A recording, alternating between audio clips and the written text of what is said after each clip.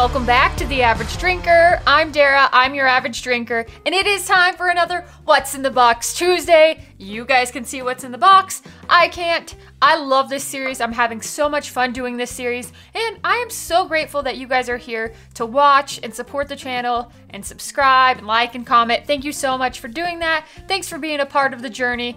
Now let's get to drinking because I'm excited. Well, I don't know if I should be. You can see it. Should I be excited or not? Well, we're about to find out. So cheers to you at home. Thank you for being here. That's a hefty pour right there. That is a nice solid, Bill poured a nice hefty pour of that.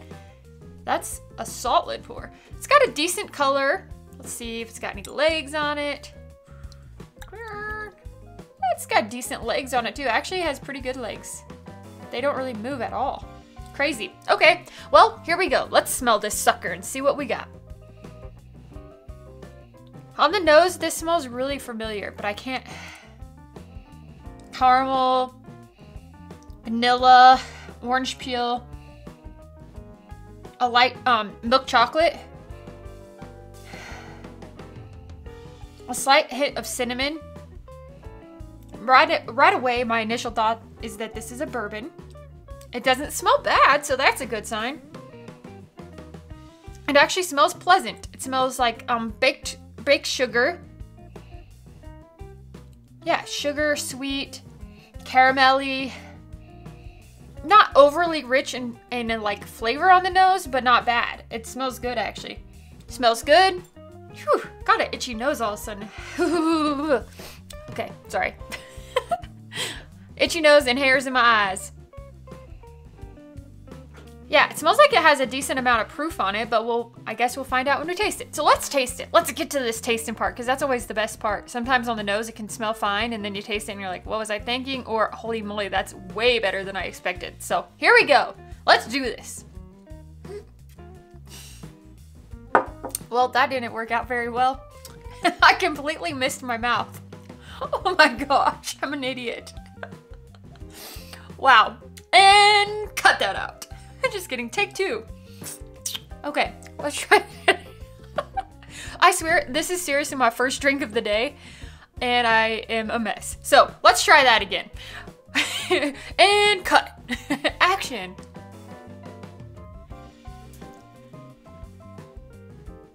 Mmm. That is a good taste in bourbon.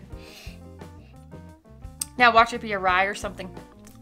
No, it's a good bourbon decent amount of proof. and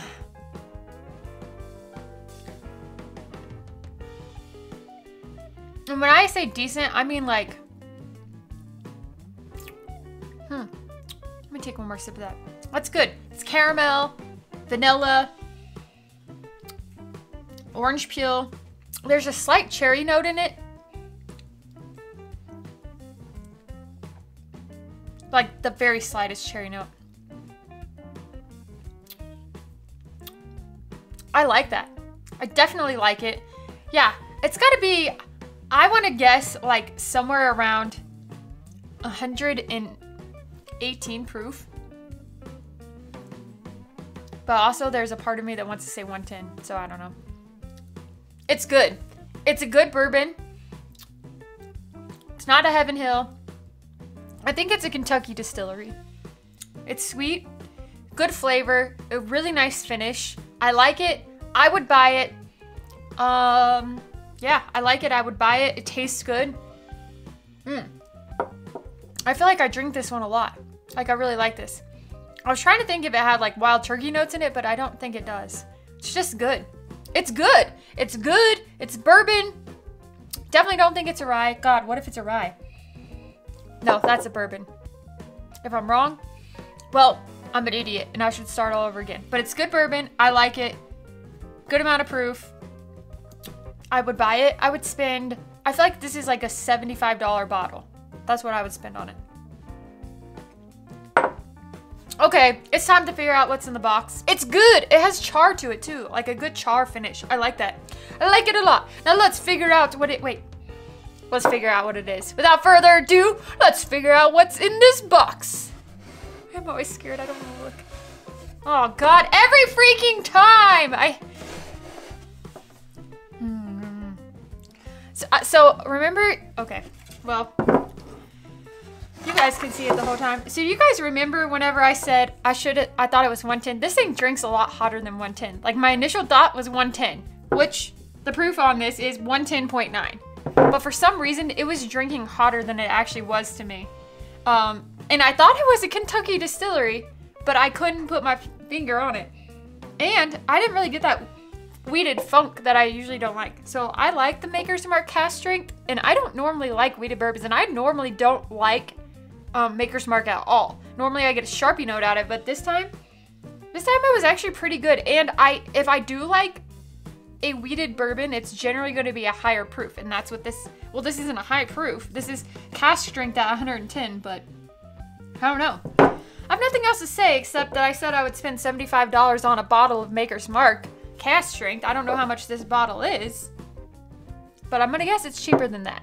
I would guess it's probably like $60. Tastes good. Mm. Yeah, I really don't get that wheated funk out of this that I normally get that I don't normally like. I like it. I admit it. I like it. It's good. I would buy it.